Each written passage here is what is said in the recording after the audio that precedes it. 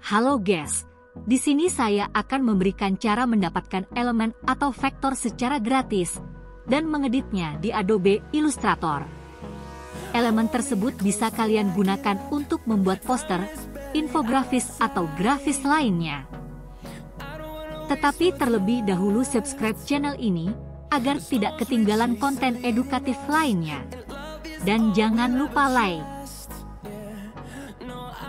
Pertama kalian buka Google Chrome atau browser yang ada di perangkat kalian, selanjutnya ketik Freepik di kolom pencarian, lalu klik Enter. Selanjutnya, kalian klik yang paling atas. Setelah itu kalian klik kolom pencarian, lalu ketik elemen apa yang ingin kalian cari. Tetapi jangan lupa merubah aset terlebih dahulu. Sebagai contoh saya akan mencari tentang hewan. Lalu klik Enter. Berikut hasil-hasilnya.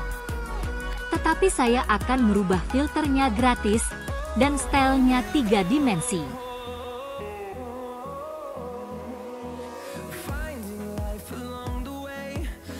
Berikut hasil-hasilnya.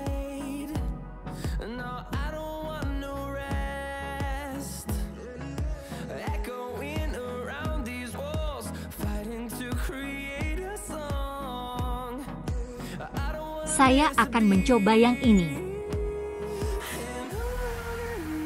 Tetapi terlebih dahulu kita harus mendownloadnya. Klik download. Lalu free download. Setelah itu tunggu beberapa saat sampai proses downloadnya selesai.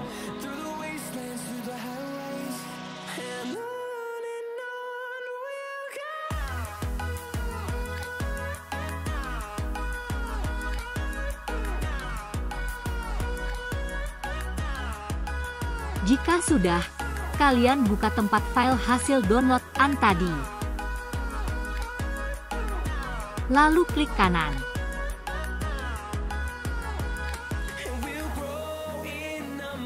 Selanjutnya klik extract all. Klik enter.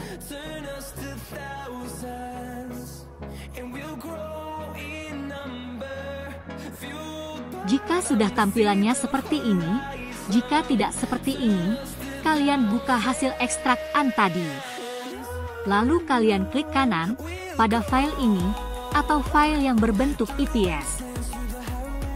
Lalu klik Open With, selanjutnya klik yang berlogo Adobe Illustrator. Tunggu beberapa saat. Jika seperti ini klik Yes. Berikut adalah elemen yang akan saya edit.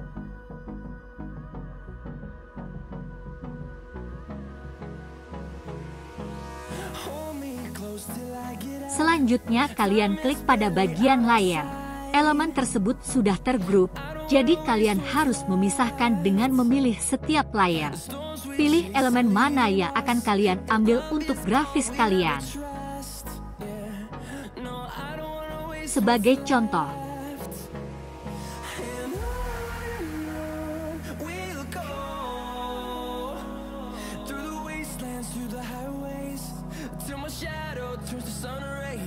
Saya akan mengambil elemen ini, perhatikan baik-baik. Pertama saya akan membuat tempat grafis saya terlebih dahulu. Untuk menempel elemen yang akan saya ambil.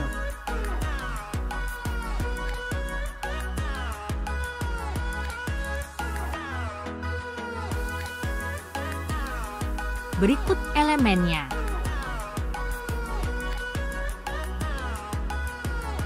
Pertama klik kanan, lalu klik copy.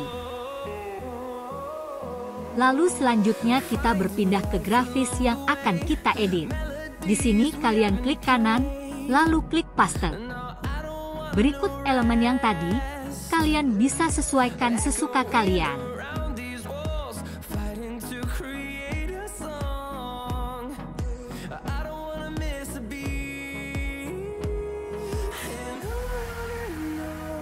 Mari kita coba satu lagi. Pilih di bagian layar. Sebagai contoh saya akan memilih ini. Klik kanan, lalu klik copy.